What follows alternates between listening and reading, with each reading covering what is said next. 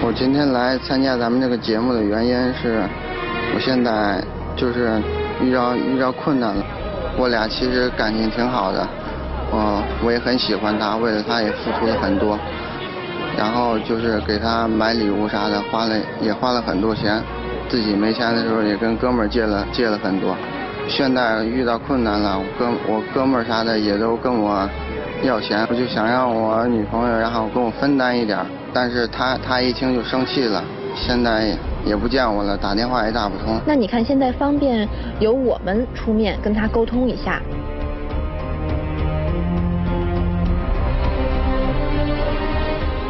你说一开始的时候我俩在一起是很好，他经常给我买东西，但是我没必要让他给我买吧，然后花了那么多钱，然后现在他让我还，他说跟我在一起花了那么多钱，但是我我没有让他花吧，最后他说借钱现在让我分担，但是我没有义务。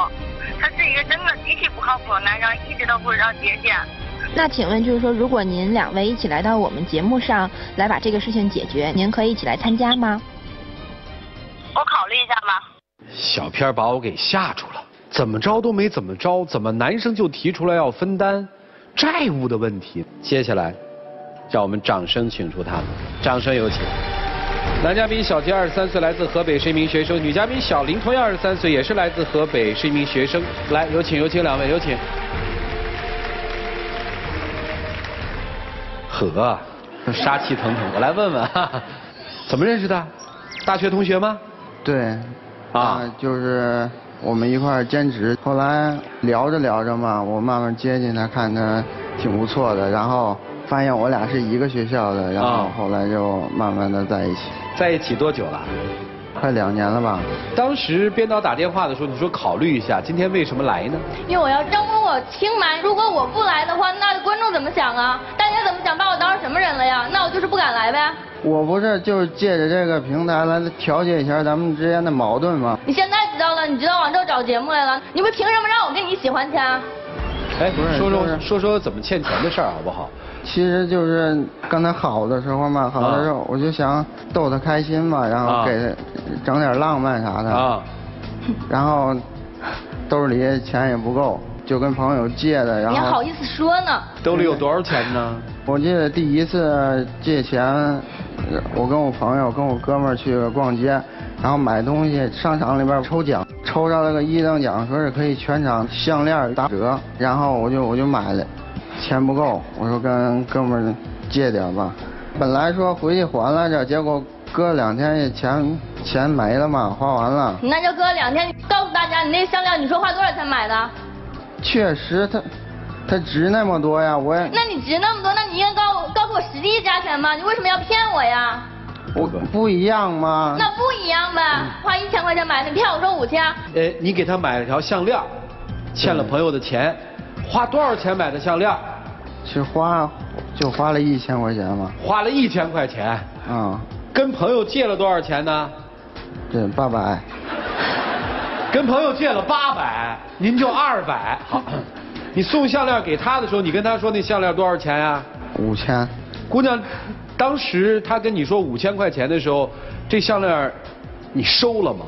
我收了，但是我本来不愿意收着，我说咱们能退回去吗？他说不能退，人家搞活动的。我说那我就收着呗。那我后来我就问他，我说哪来的你这么多钱呢？因为我俩打工认识的嘛，我知道家里肯定都没多少钱，然后一下子花五千块钱，这钱哪来的呀？然后我就问他，我说这钱哪来的？他怎么跟我说的？说我我是兼兼职挣的呀。这事情怎么现在给抖搂出来了呢？他跟他朋友一起逛街，然后啊你还有脸说是因为这件事，你还会跟我说吗？你会告诉我吗？你会告诉我真相吗？我我想着我根本就没想着告诉你，以后赚钱兼职啥的，我就你确实赚钱了吗？你赚钱的话，那你这钱为什么还没还上？为什么让我来还？不是现在现在不是有有紧急情况了吗什么？紧急情况了？停，你让我问清楚，我越听越蹊跷。你现在一共欠多少外债？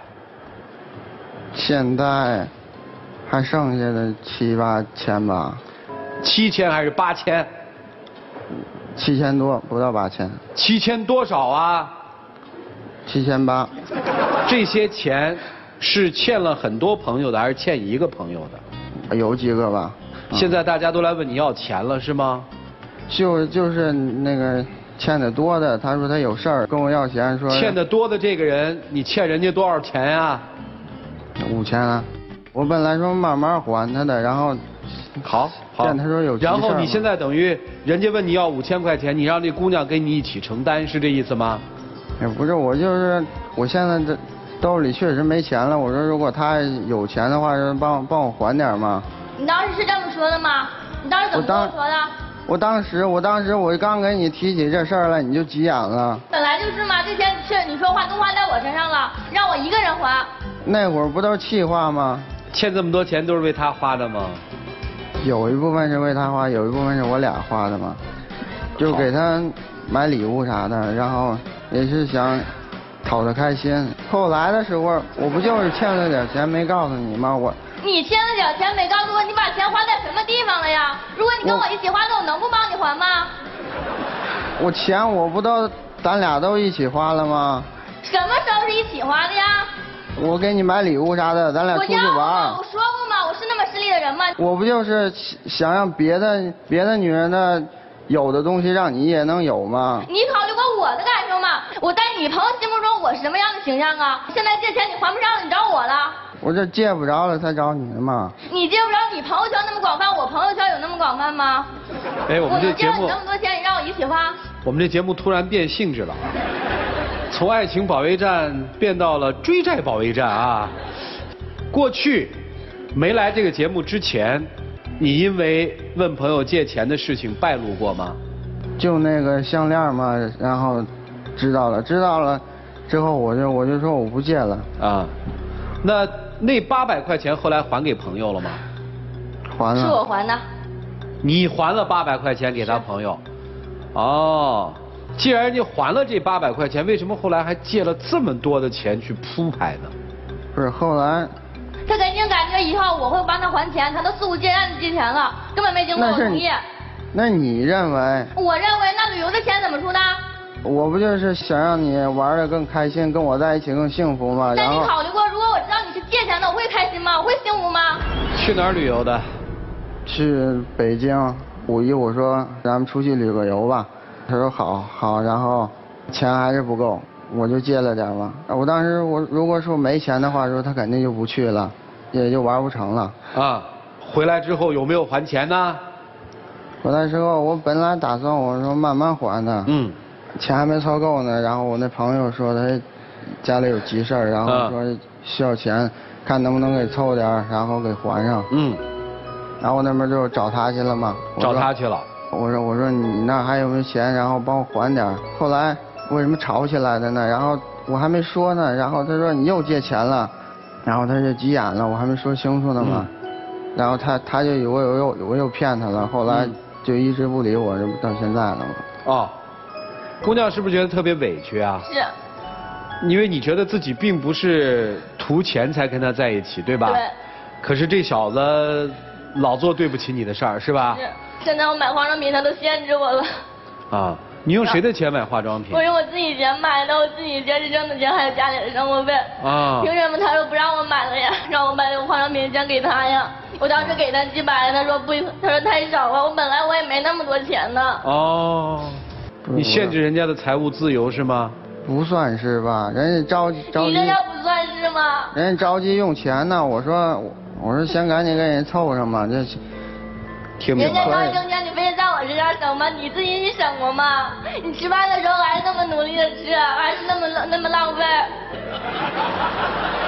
我吃我不都捡着便宜的吃了吗？现在 你那要捡便宜吃，你现在一次吃饭也得二三百吧？那以前这这不是自自以前四五百的时候呢，现在二三百了，你还叫便宜的吃呢？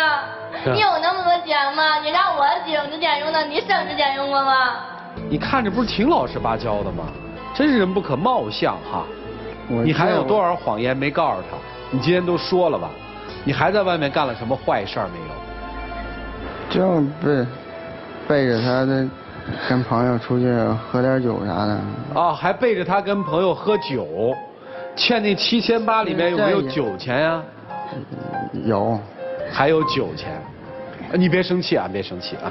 你这样，我觉得你是属于惯犯，你知道吧？你没少问别人借钱吧？认识他之前就借吧？也也有吧，但都还上了。啊，就是吃吃喝喝，有的时候充个面儿，是吧？啊，明白。医生，就当时你怎么看上这么一小子？你跟我说说啊。当时我俩在一起兼职的时候，是他对我开始是挺好的，然后我俩做了好朋友，然后突然有一天他向我表白了，哦然后我说感觉他挺有上进心，挺有能力的，将来肯定有一番事业的，然后我就跟他好了。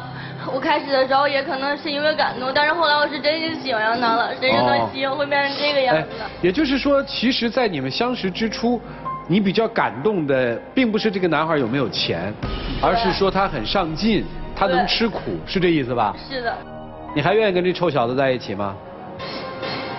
我知道他开始对我好，我我也不知道，我现在我都很乱了。我知道哦他给我买礼物是我为好，但是我真接不了不了，他骗我。哦，很矛盾是吧？是也就是说，在心里还对他有感情是吗？是。好了，我们来听听老师们是怎么说的，一起进入丘比特问卷。小伙子借钱，而且借完花掉不还这件事情，基本上已经击穿了一个人的底线。两百块钱借八百，跟人说五千，这不是借钱，这是纯骗啊！你用一个讨女朋友欢心的借口，骗了自己哥们八百块钱，然后把它增值了五倍，又骗了自己追求的女孩。好，我可以理解你，你是纯虚荣。虚荣心既然得到了一定满足，那把钱还了呗？为什么不还？当时也想还来着，但是也没那么多钱，我就想慢慢还吧。慢慢还是多久？八百块钱，你省吃俭用一个月、两个月，怎么也能还上了吧？不是八千，不是八万，八百，为什么不还？这会还还没来得及还呢，没来得及，还是压根儿就没想还？这我是我想等着我资金充沛了，然后再还你。骗鬼啊！你是让女朋友帮你还了对吗？不是他是羊毛出在羊身上，因为这钱是为你花的，你必须跟我还债，多无耻啊！这不是小事儿，兄弟。骗了朋友，骗了女朋友，借钱不还，最可怕的不是这些，是站在这个台上理直气壮。我是为了你才这样办的，每一个借口说来都那么轻松，所以我的判断是，这绝非你第一次借钱，也绝对不是你第一次赖账。兄弟，我说的话可能有点重，但是我是真心为你好。今天你上爱情保卫战，如果你不改掉你借钱不还，而且行骗的这个习惯的话，这个恶习的话，下回你上的就是什么警法时空，重案直击，你知道吗？今天来这儿还求什么女朋友原谅，这不重要，对你人生一点都不重要。但如果你改不掉这个毛病的话，你下半辈子在哪儿都不一定。我不像马老师这样觉得你是一个骗子，我觉得你的症状呢，其实跟现在很多的使用信用卡不当的人是一样的，预支消费，所以你才会说以后我有钱了再慢慢还。其实这样的概念某个程度是很危险的。会使用信用卡的人，真的可以把它当成一种金钱调度的良方，但是不会使用信用卡的人，最后就会信用破产。你把你这些朋友，包括你的女朋友，都当成信用卡在刷，而且刷爆一张是一张，然后刷爆了就换下一张再刷，你还没有管控自己金钱的能力，所以你没有权利预支金钱。你不只是钱在预支哦，你也预支未来的幸福。你现在面临的就是信用破产了。你喜欢的女孩不相信你，恐怕有很多你的朋友也不再相信你了。这就是你过分天真的预知未来的金钱、信用跟幸福要付的代价。马老师说的话也许重，但必须痛定思痛，不要这样。我以前在节目当中说，如果做不到你的是你的，我的是我的，就更加做不到你的是我的，我的是你的。结果就是我的是我的，你的还是我的。但你更加可恶，你的不光是我的是我的，你的还是我的。你的结论是我的是我的，你的也是我的，大家的都是我的。你拿别人的钱来满足自己的虚荣，然后用自己的虚荣去填足他的虚荣。至始至终，这份爱情在你的心目当中都是可以用钱来实现。女生，如果从我的角度上来说，你本来可以做得好一些。如果说当他可怜兮兮，又或者是软硬兼施的跟你说我欠了很多钱，现在我还不起的时候，你采用的是让他写下一张字条，把所有的债务列得清清楚楚，跟他说，无论将来我们在或不在一起，我都尽能力跟你一起偿还。我这只是建议啊，你做成现在这个样子也是你自己的权利。但是如果是换另外一个女生的话，她可能可以做得更好，而没有必要这样去一句一句又一句的这样去苛责她。难道在这个过程当中你没有你的虚荣心的存在吗？不可能嘛！只是有些人被虚荣心害了，有些人被虚荣心所激励。这个世界上有两种女人，一种女人把男人当肥料来喂自己的虚荣，还有一种女人把自己的虚荣当肥料来鼓励这个男人。所以我觉得，既然到这儿了，我建议，不管是好聚好散，还是曾经爱过，七千八百块钱，不管是买个教训，还是过去爱的见证，或者是欺骗的见证，可以两个人共同的去完成。至于完成之后，通过完成还债的这段过程，你们好好的三思一下，你们还值不值得在一起，再决定债还之后是劳燕分飞，还是重新开始。就这样。在我看来，爱情是奢侈品。我认为两位大概都不具备恋爱的条件。今天老师们实际是给你们上了一堂做人的课，请记住这堂课最核心的内容：先做一个好人，然后去恋爱，因为年轻还有机会，这是最宝贵的。摔了跟头。没关系，记住这个教训，未来一定是光明的。下面的时间留给你们俩自己吧，一起进入柔顺拉芳黄金六十秒。其实吧，我知道我自己有这方面的缺点，这个是个很不好的毛病。但是我不管别人怎么说，我对你是真心的。借钱不还这个事儿是我的不对，我以后会多加改正。其实我感觉你这人真的一开始挺好的，这钱我愿意跟你一起承担，但是但是现在你变化太大了，我我宁愿我现在可以帮你先先一起分担还完，还完以后我想再考虑考虑我们还适不适合在一起。没关系。我可以在一起最好。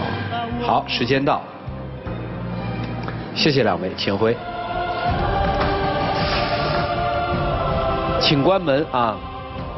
下面我请各位拿起表决器，你们看好他们？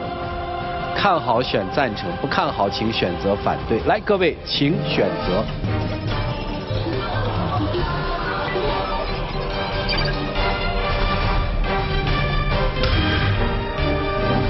百分之二十三点五二的观众是看好的，百分之七十六点四六的观众朋友是不看好的。我们一起来看看他们自己的选择吧。在此之前，我还是要进一下广告。途牛九周年九亿红包大派送，下载途牛旅游 APP，出发吧，我们！感谢途牛旅游网对本节目大力支持。要旅游找途牛，欢迎大家登录优酷、土豆、腾讯视频、搜狐视频、乐视网、PPTV、聚力、爱奇艺收看我们节目的完整内容。他们自己的选择是什么呢？请。